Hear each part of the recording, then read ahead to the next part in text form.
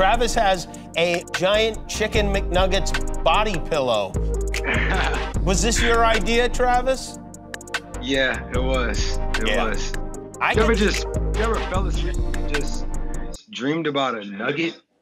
yeah, it's called being high. Yeah.